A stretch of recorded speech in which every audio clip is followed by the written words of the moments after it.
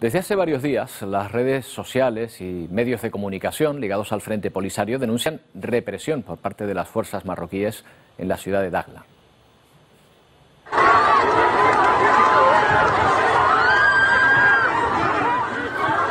Fuentes, se han sucedido varias manifestaciones eh, para esclarecer la desaparición de un comerciante de la ciudad hace ya dos semanas.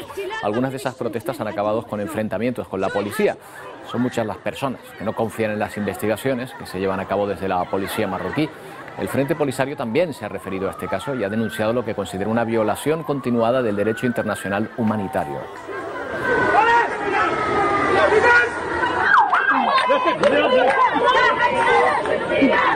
Bien, precisamente estos días se encuentra en Canarias el representante del Frente Polisario para Europa, Ubi Raya, que mañana jueves tiene previsto dar una conferencia en Gran Canaria en el marco de los actos que conmemoran el 46 aniversario de la proclamación de la República Árabe Saharaui Democrática.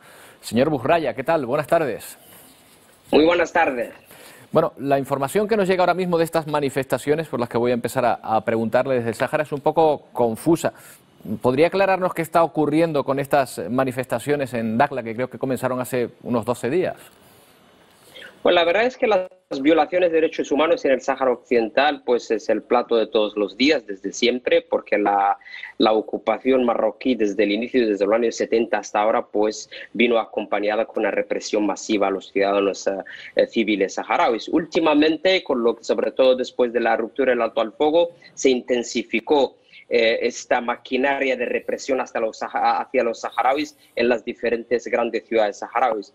Y, eh, y en Dakhla particularmente, después de un después de la muerte de un ciudadano saharaui y en unas condiciones muy, muy confusas y el, la población saharaui se levantó eh, contra eh, las condiciones de su, de su asesinato, pero sobre todo eh, en contra de la ocupación y de la maquinaria de ocupación y de la aparato administrativo y luego hemos visto todas las fotos y los vídeos de las represiones eh, salvajes de las mujeres saharauis que estaban ahí sentadas en las plazas de Dakhla, de Dakhla ocupada. Lo mismo también ocurrió en la en la capital ocupada, la Ayun, también en Smara y un Bojador. Y la verdad es que esta es una, esta es una situación que tiene que interpelar más a la comunidad internacional, sobre todo a Naciones Unidas, a que pues ha llegado el momento verdad, verdaderamente para asegurar una, protección eh, a los civiles saharauis bajo ocupación, porque esto no puede, no puede seguir así.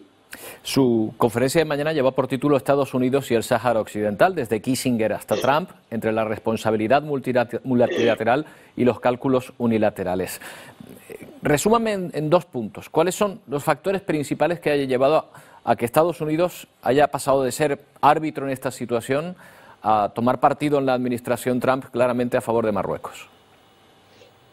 Sí, eh, la posición de Estados Unidos a través de la historia ha sido marcada o determinada por unas coyunturas eh, de naturaleza geopolítica a través de la historia, sobre todo durante la Guerra Fría, pero después de la, del fin de la Guerra Fría, pues Estados Unidos ha sido equilibrando poco a poco su, su, su posición, donde ha llegado realmente a un momento donde eh, adoptó una, una posición de apoyo al derecho a la autodeterminación, el derecho internacional y, sobre, y incluso hasta a la ampliación del mandato de la MINURSO para incluir los derechos humanos durante la, la, presidencia de Obama.